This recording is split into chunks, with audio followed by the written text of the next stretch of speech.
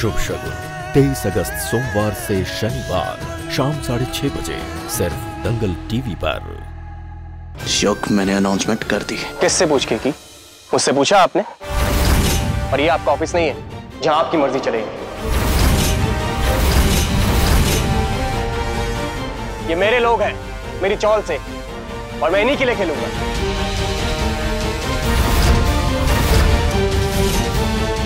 युग तुम बोल रहे हो। कि अब तुम मेरे घर में मेरे साथ रहते हो। और अब तुम हमारी कम्युनिटी के हो गए हो। इसलिए तुम्हें हमारी तरफ़ से खेलना होगा। जी शायद आप भूल रहे हैं मैं चौल का हूँ। उसी मिट्टी पे बड़ा हुआ हूँ। इन्हीं के लिए खेलूँगा और इन्हीं के लिए जीतूँगा। तुम्हें मेरी इज़्ज़त की जरा भी फ़िक्र नहीं। आई एम सॉरी जीजा जी। आज मैं आपकी बात नहीं सुनूँगा।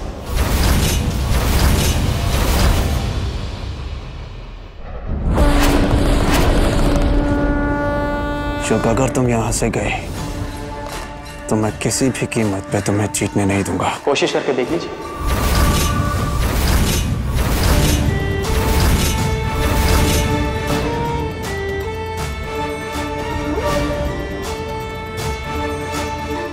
हाथी घोड़ा पाल की। जय कन्हैया लाल की।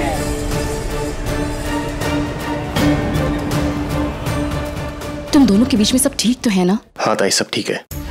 पर जीजा जी चाहते ही नहीं कि मैं अपनी चौल की तरफ़ से खेलूं। मैं जानती हूँ युग पर पर शुभ सर ने सबके सामने अनाउंस किया था कि तो उनकी तरफ़ से खेलेगा। पर ताई जो मैं कर रहा हूँ वो सही कर रहा हूँ। तुझे पता है उन पैसों से हमारी चौल की कितनी मदद होगी। उनके इलाज में उनकी दवा में कितने लोग ठीक हो जाएँगे ताई? जीजा जी केवल अपना सम्मान बचाने के लिए जिद कर रहे हैं। और तू ही मुझे बता ताई अपने लोगों के साथ खड़े रहकर उनकी मदद कर कर मैं कुछ गलत कर रहा हूँ क्या? माफ़ कीजिएगा। एक अनाउंसमेंट और है। हमारी टीम की तरफ़ से युग शिंदे नहीं। मैं खुद खेलूँगा। और हम ज़रूर जीतेंगे।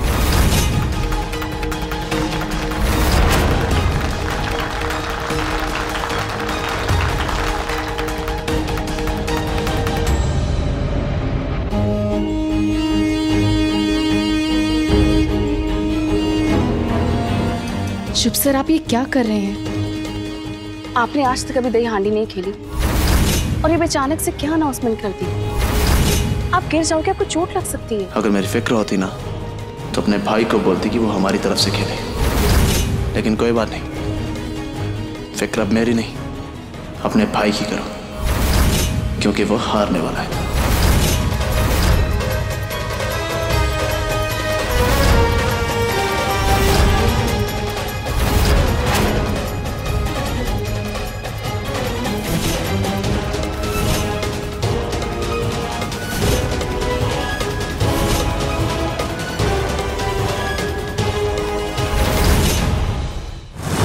मैं क्या करूँ? कैसे रोकूं इन दोनों को?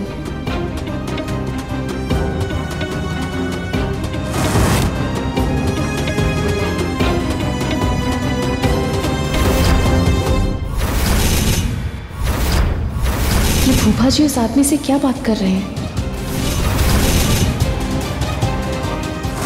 कहीं वो शुभ सर को चोट तो नहीं पहुंचाना चाहते? जिस मौके का आपको बेसब्री से इंतज़ार था, वो मौका आ चुका है। जिसमें पहली टीम की अगुवाई करेंगे शुभ जायसवाल। और दूसरे टीम की अगुवाई करेंगे युग शिंदे।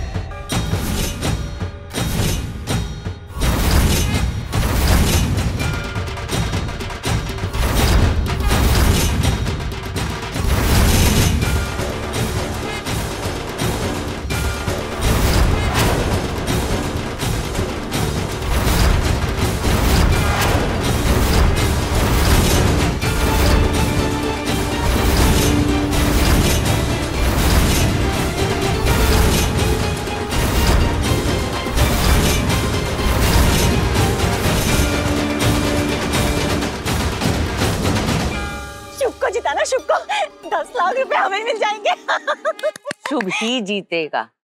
उसने कभी हारना सीखा ही नहीं।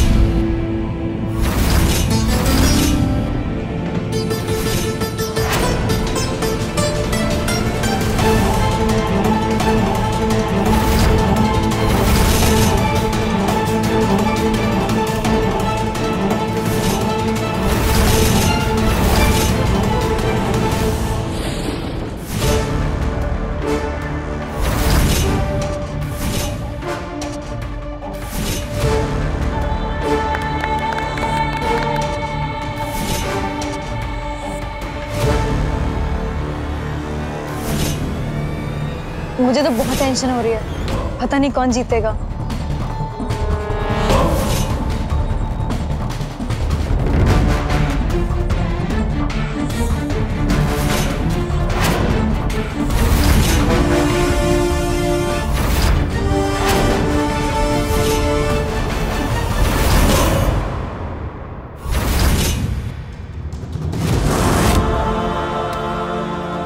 वो आदमी शुभ सर की टोली में तो नहीं है? फिर भूपा जी का क्या इरादा है?